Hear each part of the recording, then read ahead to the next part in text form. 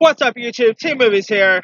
One of my favorite character actors, uh, Ken Watanabe, is set to uh, join the upcoming HBO Max series Tokyo Vice, where Watanabe is not only going to uh, star this, but he's also set to uh, executive produce the series as well. Ken Watanabe will star opposite Ansel Elgort from a Baby Driver fame, and and it's based on a book by Jake Adelstein and comes from Tony Award winning playwright J.T. Rogers and will be produced by John Lesher and uh, Evanor Enver uh, content. Now, here's what it's about. Uh, the 10 episode uh, series of Tokyo Vice centers on Jake Adelstein, played by Elgort, an American journalist who embeds himself into the Tokyo Vice police squad to reveal corruption. It chronicles Jake's uh, daily descent into the neon-soaked underbelly of Tokyo, where nothing and no one is is uh, truly what or who they seem.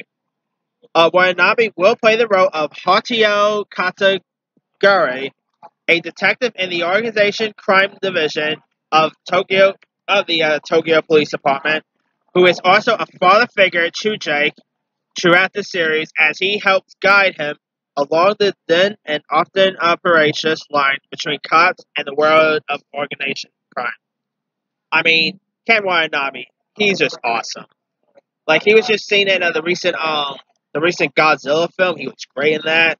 He was he also played the uh, police officer in uh like the police detective um in uh, Pokemon Detective Pikachu. I thought he was great in that. And of course, he's been loads of other stuff like The Last Samurai, which scored him a uh, Oscar nomination.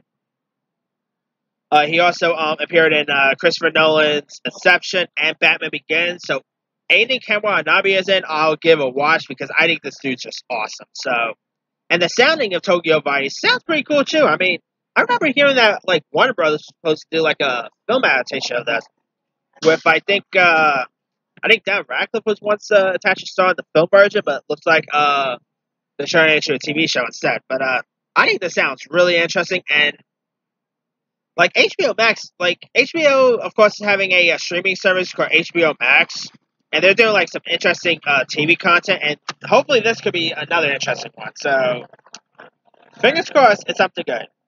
But let me leave it to you guys. What are your thoughts on uh, you know, Ken Watanabe being cast in uh, Tokyo Vice?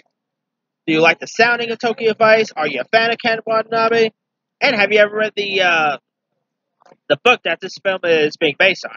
Drop comments below. Don't forget to like, subscribe, hit that bell for notifications. This is C Movie off.